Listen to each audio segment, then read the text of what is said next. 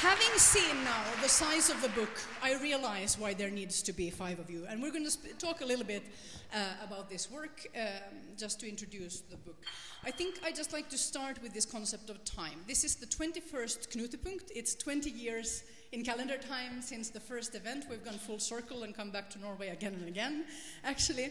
Uh, so time is very important for this book. Uh, Martina, how, how did you think about time? Yeah, that's basically where we started. We wanted to both look at uh, the roots of where the Nordic community came from and look ahead to where we might go in the future.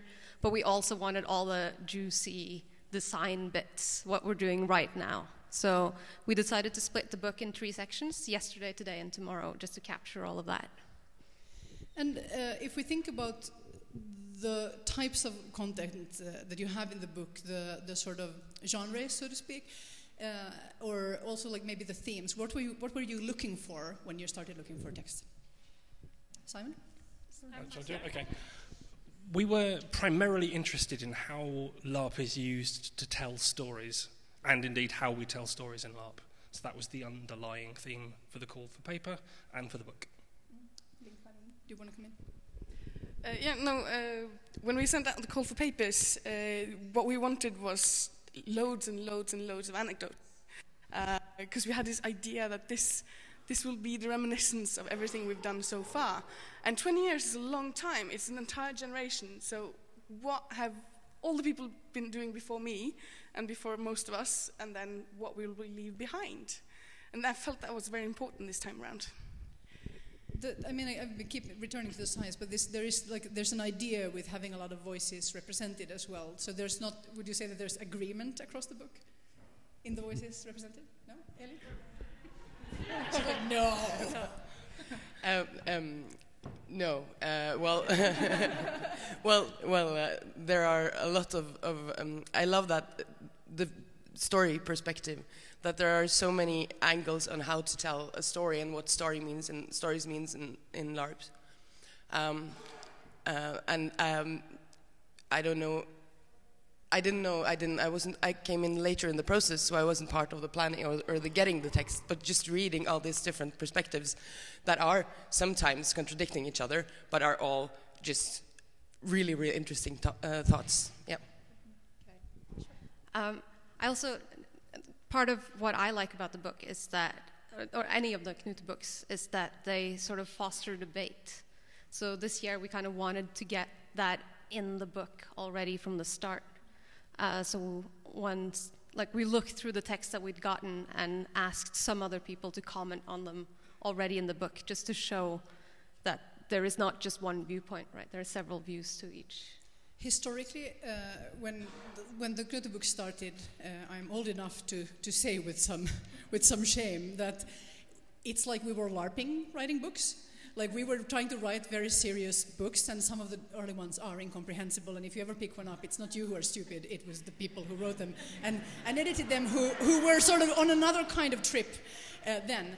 Uh, it seems from what I've seen of the book that, that you've actually made a big effort to make this possible to approach uh, for people who are quite new to this community. How did you do, work with that?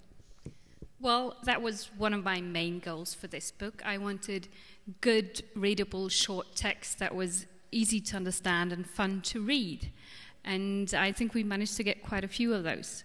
And then we also have text on the completely other side of the perspectives, which are more, much more academic, because people like that too. I assume all through the process it has to be with like 100 people involved or even more. How did you coordinate your work and how did you work with the contributors? Well, I mean, uh, I said yes to heading the committee even though I was pregnant at the time because I'm an idiot. Um, and then we brought in someone who didn't even live in Norway. Um, so most of our work has been done online. Uh, and we've coordinated via Google Docs and Google Hangouts and just basically talk to each other over Facebook. And then we spent a really long time planning the book before we started working on it. Because we planned it right after she got pregnant, and she managed to have the baby in between, so we have like at least nine months there. I think um, a lot of the, I mean, the best thing, of course, is to let people read. But do, do you have something that you want to send as, a, as a, something to keep at the back of your mind, or, or some favorite page you want people to turn to, or something like that? Yeah, yeah, go nuts. What would you Okay. want people to think? Go. What I want people to think. Oh, going in, or anything you want to tell people right now about this book. I made a book. I'm a librarian. It's a, it's a, it's a career goal. Okay. It's just. it's not quite gone up to me yet, but well, I, I want people to laugh at the excerpts. Uh, the moments that we have in the book, the character moments, they are really great, and there's just snippets of them. But spend some time looking at them. I promise they're worth it. Well, could you hold this one, please? Uh, I really want people to just flip through the book, just like Simon is doing now. And then see is there something that catches your eye that I, I want to stop and look at that or read that? It's a really beautiful book and it smells great. um, I think it's an unfair question to pick out one piece. They're all lovely. It's a book that will keep you going for a while. There's a lot to dip into. There's a lot of good, strong content in there. There's a lot of things that will make you angry and you'll disagree with. And I think that's fantastic. I think maybe um, pick. uh, This year we have a few uh, British, like few more British LARPers who's writing, and some of them aren't even from the Nordic traditions. There's some interesting new viewpoints, so maybe keep an eye out for that. Yeah, the combination of different uh, viewpoints uh, all together is amazing. But I want to say something about what you said of it being a thankless process, because I don't think it is.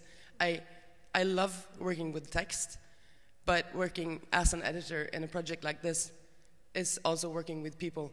And I just, everybody has been so uh, friendly and open and, and helpful and uh, fantastic in the process. And I think it's really important that, uh, to say that that worked really, really well. On that note, I think we should do some cheers. Uh, first, I would ask the people who have contributed to this book in some fashion, could you just all wave? Welcome and thank you all.